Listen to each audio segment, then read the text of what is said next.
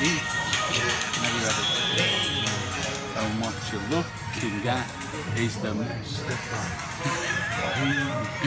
Good evening, TNF Extra. Ian Lathwaite here.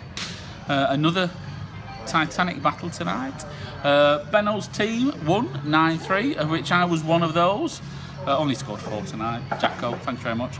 Uh, I'm going to quickly over to Benno for the winning captain's review of the game. Ian Bentley. Thank you, Mr. Lathwaite. Very entertaining game tonight. I was uh, particularly um, Good. Quiet. good. Yes, I, I was. Um, Greedy. gr- no, I was really impressed to play with such a, a great array of players and against crap players. And I'd like to say, Jonathan Jackson tonight had one of his most effective games. Yeah. I've never seen him so busy. I've never seen him so much on the ball. Oh, sorry, no, sorry. Get well soon, Jacko. All the best. Anyway, uh, we're going to go over to losing captain, uh, Griff. Griff, 9 3. It looked close, but then it wasn't. Not really, no. I, I have I have no defence. Sorry, we have no defence. Um, You have no defence. all I can say is I think we'd have benefited from having Jacko with us. That's how bad it was tonight.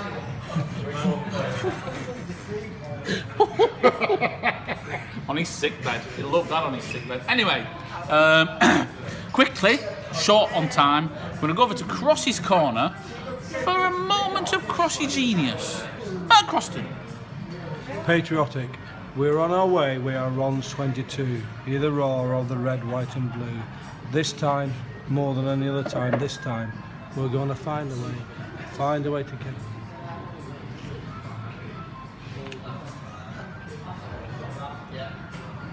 To get it right. taking the absolute, absolute. Anyway, new part of the show.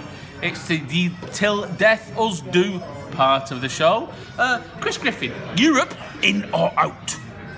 Well, I, I'm not really a political animal, but I'll do my best and I'll do my bit for us. I think um, we got rid of the Scotch lad last week. Uh, with a Welsh lad to get shut of, two or three Scousers.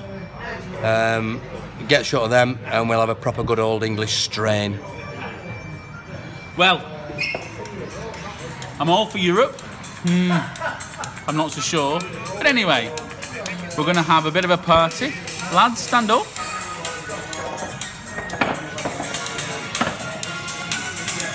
Crossy can't dance.